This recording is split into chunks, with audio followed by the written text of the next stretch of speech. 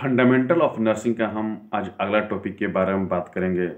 Nursing ethics मतलब कि nursing का नैतिक सिद्धांत। नर्सिंग का फ़र्स्ट नैतिक सिद्धांत है, आपको कोई भी ऐसा कार्य नहीं करना है, जिससे नियम कानून का उल्लंघन हो, अमानवीय हो, लोगों के मानवता के विरुद्ध हो। ऐसा आपको कोई भी कार्य नहीं करना है। नर्सिंग का फ़र्स्ट नैतिक सिद्धांत है। दूसरी बात कि आपकी हमेशा मानव सेवा में तत्पर रहना है। मानव की स्वास्थ्य सेवा के लिए आपको हमेशा तैयार रहना है। किसी भी परिस्थिति में स्वास्थ्य संबंधित क्षेत्र के लिए आपको हमेशा तैयार रहना है। किसी भी पेशेंट के साथ आपको हमेशा शिष्टाचार पूर्वक और प्यार पूर्वक व्यवहार करना चाहिए।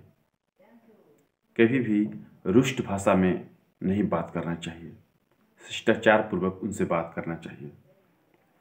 आपको हमेशा मृदभाषी और विनम्र होना चाहिए। अपने, आपके सीनियर द्वारा, चिकित्सा अधिकारी द्वारा जो भी आपको कार्य दिया गया है, उस कार्य का निर्वहन उत्तरादित्व पूर्वक करना चाहिए। कभी भी अपने कार्य में लापरवाही नहीं करना चाहिए।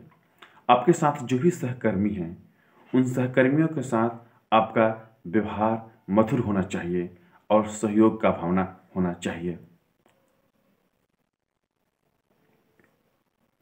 मरीज़ के आप कोई भी आपको गोपनीय बात बताता है अपनी, उस गोपनीय बात को कभी भी उसको बाहर किसी दूसरे को नहीं बताना चाहिए।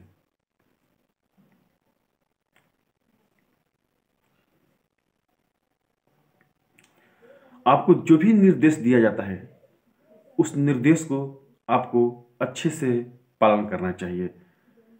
आपके चिकित्सकों के द्वारा जो भी निर्देश दिया जाता है, उस निर्देश को आपको पालन करना चाहिए। अपने नॉलेज को हमेशा अपडेट करना चाहिए, ताकि नई नई जो कुछ भी रिसर्च हो रहा है, अनुसंधान हो रहा है, उन चीज़ की जानकारी होनी चाहिए। पेशेंट को इलाज करते समय हमेशा वैज्ञानिक तरीका और सैद्धांतिक तरीका तरीका से इलाज करना चाहिए। पेशेंट को कभी भी हर्ट नहीं करना चाहिए। उनके मन, भावनाओं को हमेशा कद्र करनी चाहिए।